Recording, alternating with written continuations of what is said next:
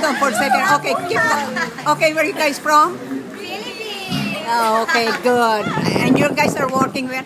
Oh, stay there. You're working in a cruise ship? Yes, ma'am. Norwegian Epic. Oh, good.